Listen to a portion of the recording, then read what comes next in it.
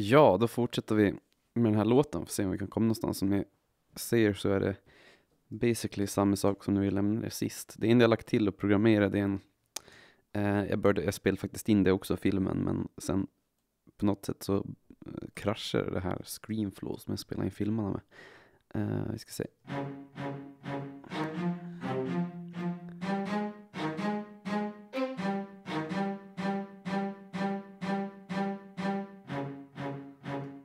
Staccato cello helt enkelt.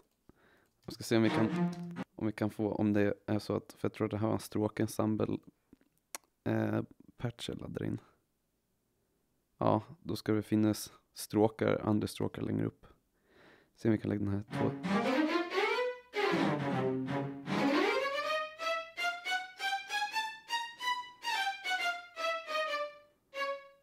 Någonstans där. Se hur det här låter.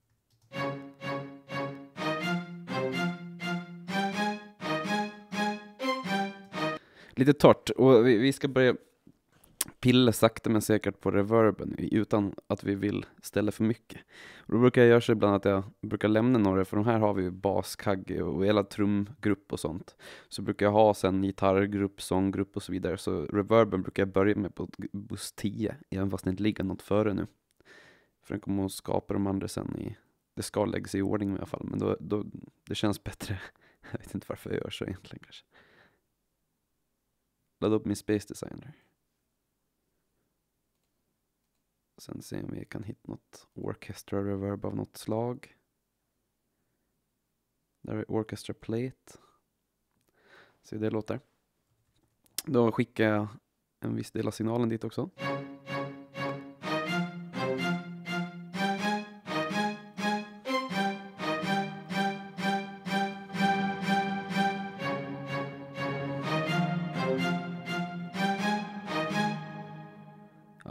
Okej, okay, okej, men det är lite grötigt nere i det lägre partiet, så jag går in och bara EQ till det lite sådär, skär det lite så vi inte slipper den här, att det grötar, grutar ihop sig nere i.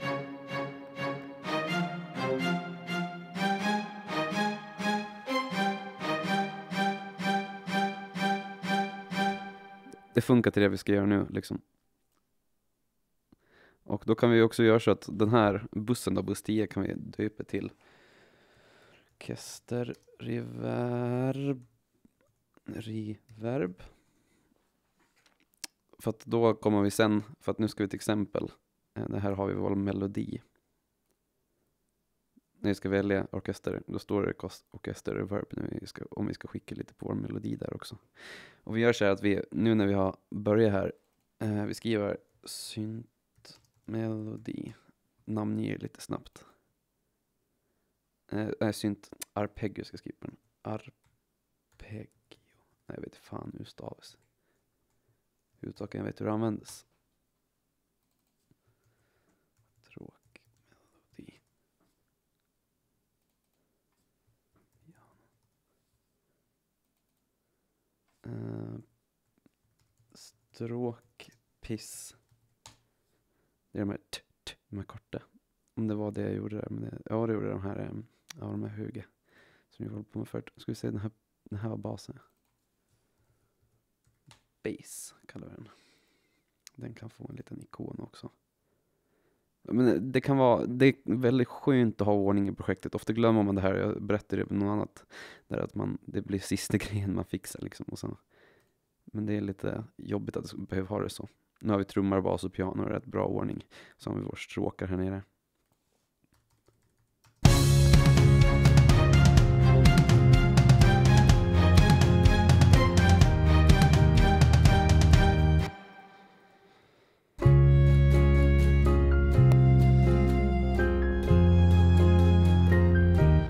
Du vet, jag tror, jag tror faktiskt att jag ska muta av den här pianot. Låter det komma in allting med de här, och den här pianot. Det är lite dovt, jag tror jag ökar velociteten lite.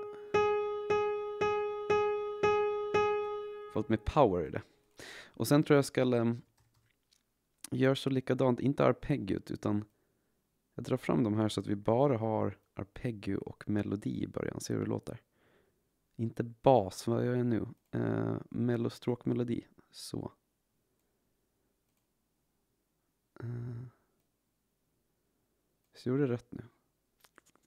Ja, vi får se att det funkar. Inte bas. Muta den.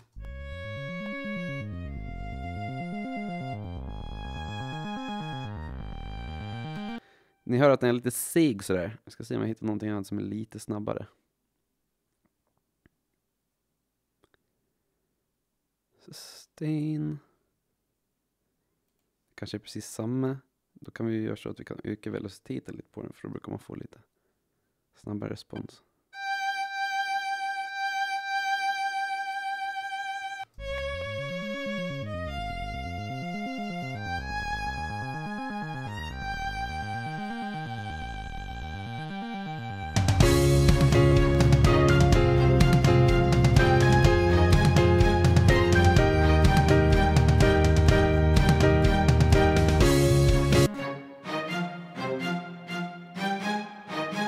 Se hur den här går ihop med den här plockgrejen vi hade.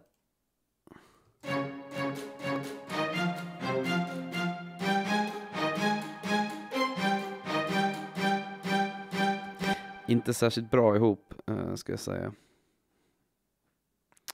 Jag, vet, jag, jag är så att jag vill inte ta bort det jag har gjort. Så att jag sätter den där på mute. Och sen gör vi bara så här att vi lägger upp den där, där och har en liknande grej på.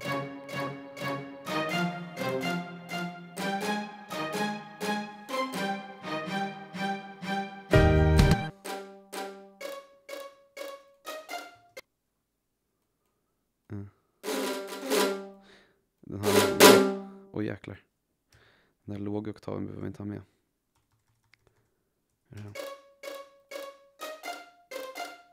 Det funkar ju bra.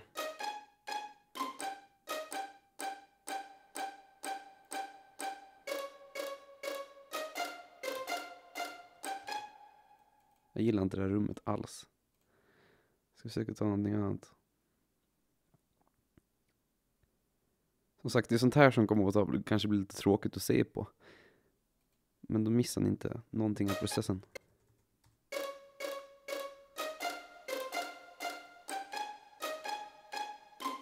Det är alldeles för långa reverb jag väljer nu.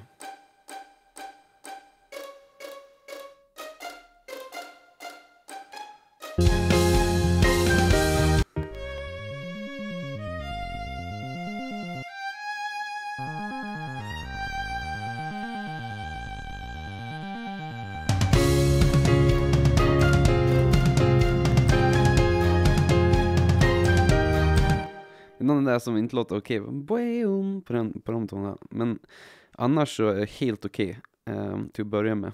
Därför jag gör så att jag skickar stråkarna också till en egen buss och då kan vi ha buss 3 som, som, eh, som stråkbuss. Så här brukar jag göra att man, eh, vi ska döpa det här också så vi har eh, trumbuss, buss, och då sätter vi någon ful färg på, svart kanske, lite häftigt sådär. Den är ju rock'n'roll. Och sen har vi här buss 2. Där hade vi baskagge. För det var till sidechainen. Orkester buss 3. Där tar vi um, eh, orkester eh, buss. Som sagt, här blir det oordning. Det här, det är det här jag är lite, tycker är lite tråkigt. Att, jag vet inte hur det blir när man har al här. Nej, de lägger sig liksom inte i ordning ändå. Jag vill att den där ska vara Antagligen kan man fixa in i environment på något vis.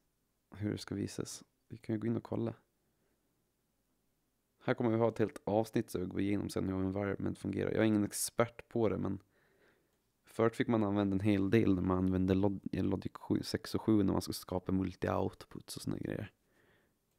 Eh, kan man flytta det här? Nej, det går liksom inte att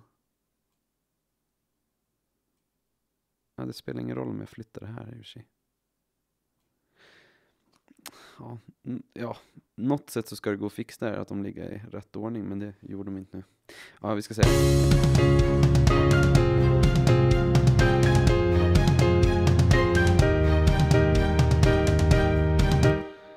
Jag antar att det är med mitt piano, de här höga tonerna i pianot som är